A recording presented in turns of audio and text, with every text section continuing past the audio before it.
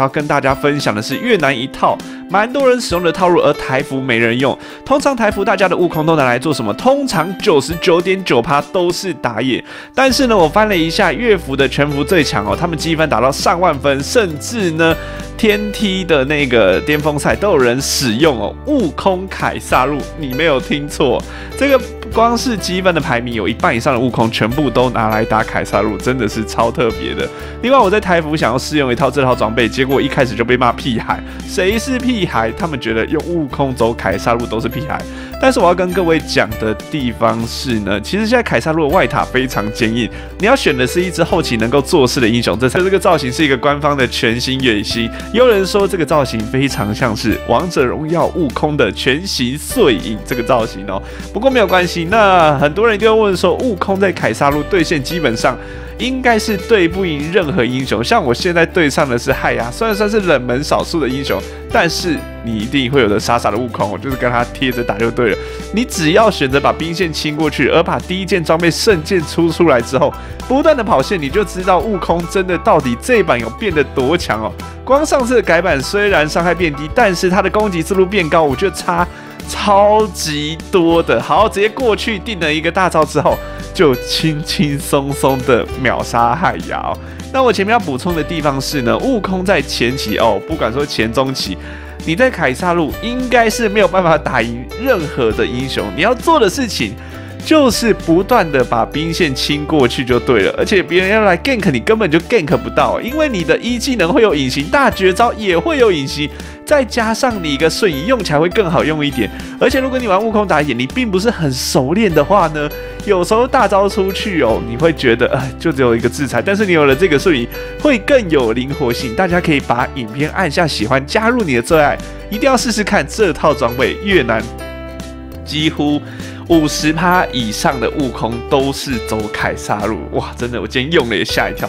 我在一开始使用这套装备，我想说天哪，我绝对会被打爆。但是你看到我前面的精彩影片，后期你只要能黏住射手或法师，把他抓掉之后，你能够五十趴血量，再稍微躲到旁边草丛，你有机会把第二个带掉，你就成功了。比起那种佛路人要在那边滑来滑去哦，比较文雅一点。我悟空就是讲求一个暴力的打法就对了。好，那这时候你可以看到，不断的快速的把兵线清过去，而且我觉得悟空。我玩起来觉得比较特别的地方是，它的出棒的动画怎么感觉有点跟不上的感觉？就是你我的棒子已经才挥到半空中，然后我的伤害就出来，大概就是这个样子。好，那这个时候呢，我们继续把兵线推过去之后，下路发生了一波非常激烈的会战哦，比我们班上选班长还要刺激哦。你们现在我们开始选全新的干部啦？各位，我还记得呢。以前大学的时候，谁敢迟到，谁敢没来，你就要当班长。因为在大学的时候，当班长就是一个死缺。好，在这个时候下路有一坨人，我们在草丛里先稍微蹲一下。因为只要被维拉定中，我也是整个凉掉了。我们直接进场之后，先锁定维拉大招，直接开下去秒掉他。之后呢，在旁边稍微蹲了一下，拉维尔在后面不断无钱输出，而维拉还有机器人呢，来个爱心妈妈送便当，把拉维尔直接送回了午餐场的喷筒，超级可怕的。我们这个阵容超可怕。哇！维拉竟然三连杀，和平啊，各位！嗨呀，还在上路猜，送给他猜，因为我们刚刚已经拿回了一个巨大的优势。在前期的时候，我们是以一个一比五的比数开场哦，而我们的奇尔还是谁？我一开就说我是屁孩，没有办法。啊我觉得台服很可惜的地方是我们打的套路都太保守了。但是如果你去外服伺服器玩的话，你会发现。就是同一只角色会有很多不同的玩法。不信的话，你现在打开一下台服全服最强的悟空哦，胜率都是差不多在四十趴到五十二趴之间，然后可能战力都是六七千左右。我不知道是因为乐服的人口基数比较多的关系，他们真的专精那只英雄，真的就是狂用狂用狂用诶，用到他不用为止。然后奇尔直接大招之后呢，维拉又把拉威尔定到之后。哇，我的天呐！这一场维拉整个就是肥爆，而我拿了一个一零九，我只能说靠运气，我运气不好，暴击伤害一直没有出来。而且我发现更狂的地方是哦，他们全服最强，我刚不是有分享了吗？有五十趴的悟空是打野，五十趴部分是走凯撒路。那另外这五十趴的凯撒路的悟空，又有五十趴的悟空是不买鞋子悟空，是非常特别。他就圣剑接完哦，直接就是出飓风双刀取代鞋子的速度，然后直接出了天丛云之刃，哇！这个伤害真的是吓死人，到时候再跟大家分享一下这个套路又要怎么玩。我的天啊，真的是各种创意满分诶！台服现在比较流行哦，几乎前面都是那种哦四个手套的悟空哦。可是我认为这套装备比较有致命缺点部分，这套装备就是狂 gain 狂 gain，可是它打野刀就是一级，那一级的打野刀就是你吃野的经验会稍微的少一点点，这是它稍微比较弱势的地方。不过它前期就非常有影响力哦。可是我真的觉得你前期要更有影响力，可以玩那种菲尼克啊，更有影响力。好，这边呢，我们直接锁定纳维尔，不要傻傻的用悟空在前期去贴坦克，绝对是徒劳无功哦。在你天童云出来以前，打坦克几乎都是帮他抓羊的份而已。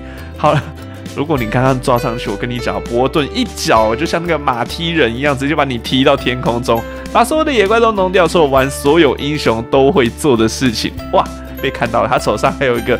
绿绿的，好像是耳屎的东西，我被丢到就会不得了了。各位，我最近的身体不知道是怎么样，出了一点状况，就是我只要熬夜的时候，我的耳朵就会超级痒，而且你就会感受到我的耳朵里的东西，就是。不知道是什么东西在震动，然后就挖耳朵就会有那种巨量的油油耳屎哦。我还记得以前呢，其实我其实我有点搞不懂，你知道吗？然后网络上都有人有些人说，呃，要挖耳屎不挖耳屎，耳屎动一动就会直接出来。可是我觉得像我这种湿式耳屎，好不要讲耳屎，好像有点恶心。我们继续讲个游戏好了。好，这个时候呢，我们就轻轻松松的。对不起，因为害呀那个。太阳那个手上绿绿，让我想到他耳朵在挖耳屎，所以抱歉聊了这个不好的话题。非常感谢欧米茄帮我开了一个治愈，那我们就直接顺水推过去。哎哎，我发现在才发现啊，对面原来也有维拉者，究竟是怎么回事？他的存在感也太低了吧！你可以看到，现在我虽然没有打野刀，但是我的清野速度整个也是快到不行啊！就像是你去剑湖山坐云霄飞车，没有系安全带直接飞上天的感觉。另外，我要跟大家分享的是，我要超开心的，就是我这礼拜终于签了人生的第一台汽车了。虽然只是一台小布布，不过这是这真的是我努力赚钱赚来，就觉得非常的欣慰。天啊，就是我现在三十岁，那我现在就是还在贷款房子，那但是终于有自己的一部车，就觉得好像哎自己有点长大了的感觉。你觉得人生长大的目标是什么呢？也欢迎在。下方留言跟我一起分享哦，我觉得这个时候，我觉得我们奇尔很可惜。他就一直不打凯撒，明明我们有非常多的机会，硬心蹦蹦大招敲敲敲，一个国民健康操，一二三三二一，一二三四五六七就把维拉敲掉。当维拉死翘翘之后呢，对面已经没有任何英雄能对我造成威胁。而且我发现对面的伯顿好像不太会使用他的大绝招，把害牙敲一棒剩半条血之后，他开了一个强化回复，又回到三分之二。那我们这边呢，直接一个往左假动作，就像灌篮高手一样往前一滑。在一个小大招的硬心招配一个二技能，有没有死的非常惊讶？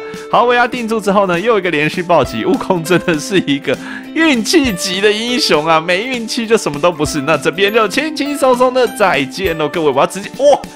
你为了我缴闪现、缴爱心、缴大招，你有这么爱我吗？和平啊，各位。在这边应该是来一波激烈的凯撒会战，那么小猴子就在这边等着，往后敲，直接敲两名对面后面的射手，汉牙直接大绝上来，不过完全没有伤害，不过没有关系，我们继续把悟空给敲爆，就直接拿下了一个三连杀。你你刚好看到我的那个大头贴什么吗？我现在设定哦，就是只要三连杀就会出现那个肥宅若伊的照片，超级可爱的。好了，那左下角呢，就是这一次越南伺服器的凯撒悟空出装，我觉得算是不错。对线你要注意的是，你只要洗兵就对了，不要跟他激烈的会战。而你要所做的是快速农庄到圣剑飓风双刀，你就天下无敌。往后排抓，不要往前排抓，这样就是你能拿到三连杀的轻松配博。那今天影片就到这边，如果你喜欢我的影片的话，欢迎对影片按下喜欢，拜拜喽，各位，我们明天见喽。